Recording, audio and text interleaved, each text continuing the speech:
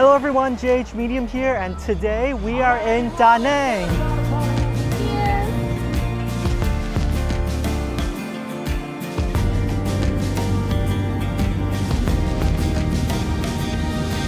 The second stop of our Vietnam trip is the beautiful seaside city of Da Nang. After a busy trip in Hanoi, it's great to slow things down a bit and relax.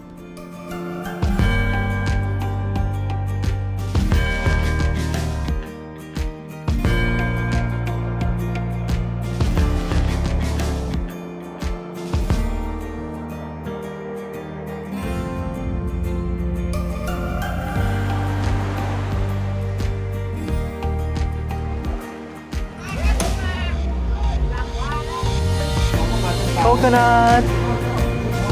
Cheers!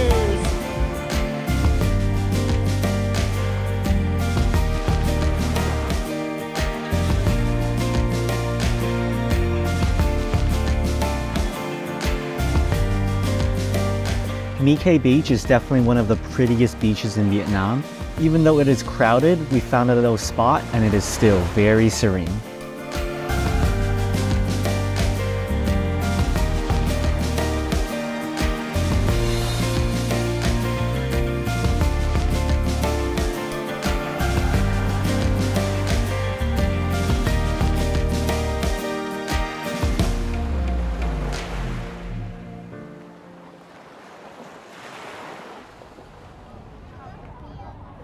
We're at the Dragon Bridge Night Market, which is the busiest night market in Da Nang. And we're gonna try their famous pork skewers. You put them in this rice paper, then you add some cucumbers and some herbs inside, and you roll it up.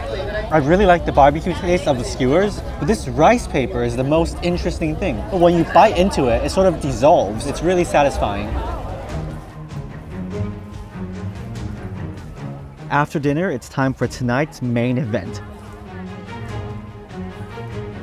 Come here at 9 p.m. on weekends and public holidays to see the fire-breathing dragon.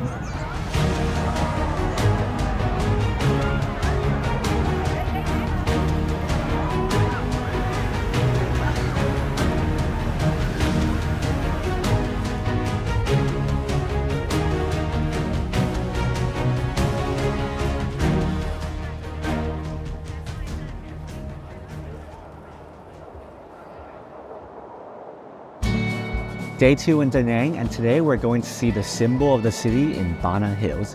But this place is completely different from what I expected. Keep watching to see why. Built over 1500 meters above sea level by the French in the 1900s, Bana Hills was established as a resort for French tourists. They wanted to build a recreational space in the mountains away from the Vietnam heat.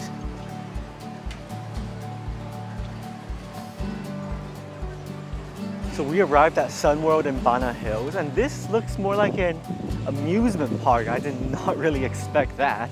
Sort of looks like a Vietnamese French version of Universal Studios. It's really strange.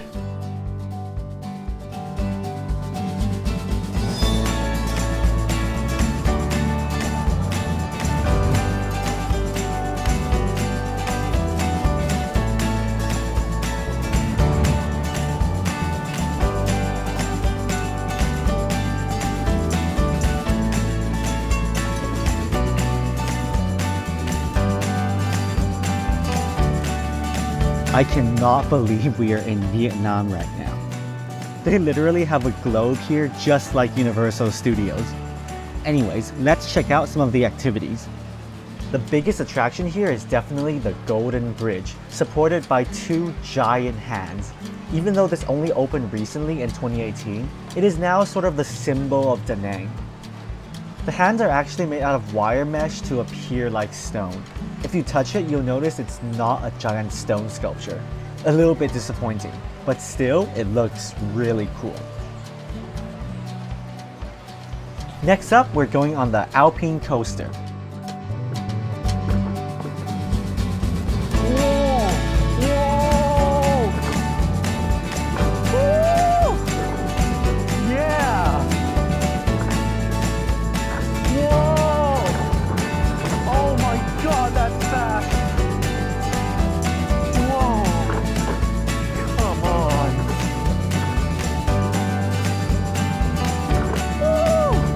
What a ride. That actually went a lot faster than I expected it to go. Wow. Really cool. And the sun's out. So much fun. Rika wants to play one more time.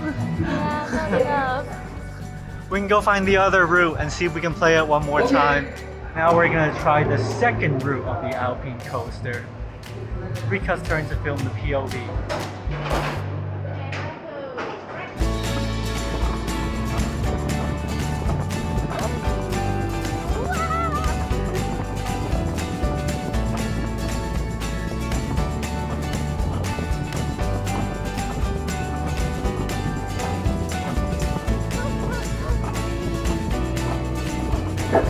Now we can relax and enjoy the view.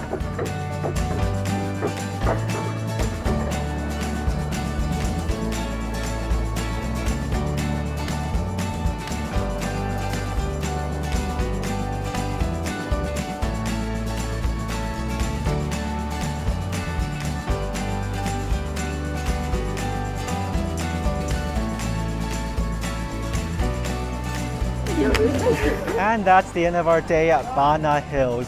So now we're gonna take the cable car back down. And of course, once again, there's a huge long line, as expected.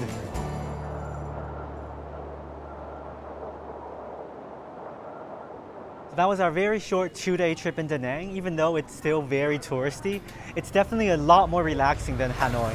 Da Nang was more of a stopover on our trip to Hoi An, but this city really surprised me.